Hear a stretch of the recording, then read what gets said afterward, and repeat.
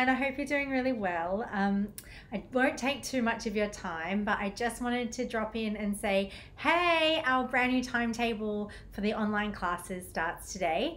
Um, so thank you so much to the over 50 of you that have jumped on those online classes with us. And to those of you who haven't, we still love you too, and we hope you're doing okay in this very strange time. Um, but we haven't forgotten you, and if you're in the world of Pole Club, you'll be seeing that there's still plenty of challenges for everyone to participate, a little bit of fun and creativity going on in there, and also some interesting Facebook Lives that I've been able to start doing. Uh, the first one's on self care, and I've put a little link into that at the bottom of this email. Um, Firstly, sometime around May 11, the federal government and the state government will be giving us a clearer picture on what the pathway back to normal looks like, or back to at least being open and being able to offer pole classes in the studio. Our stretch and fitness classes will unfortunately need to be online for a long time. However, that means we're able to offer you more of them because we don't have that capacity restriction that we had with trying to get more of the stretch and fitness classes in the studio. Um, I wanted to give you a little bit of information about how all the classes on the timetable are designed to help you.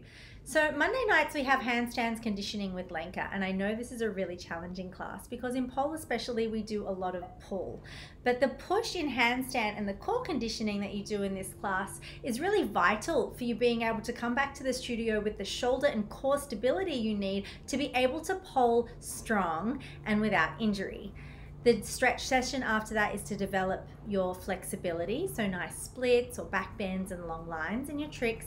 On Tuesday nights, we have chair dance with Rowena, which is using the chair as your partner, and it translates quite directly into pole dance. Chair is a great form of cheeky fun as well. Um, abs, ass, and thighs with Deanna on Wednesdays is all about keeping, you know, core fit, toned, and ready to hoist your butt over your own face when we get back into the pole studio. After that, we've got pole specific conditioning for those of you on pole premium memberships. And for those of you on that pole premium membership that haven't been coming, I think you really need to consider starting because your first sessions back in studio are going to be such a struggle if you don't start coming to class. Thursday night, six o'clock, I will be offering a pole plus dance class, which is a little bit like your pole for all that you're used to in studio, but you'll be focusing on doing a certain type of move, either with a theme or a body part that's available to all levels, and then putting that into a little bit of a sequence at the end of the class, and that will change week to week. I Forget to mention that on Thursday nights, I'll be doing a 70 minute yoga class. So that one's all about dealing with the mental health and wellness aspects of being in isolation, but also of just living in modern society.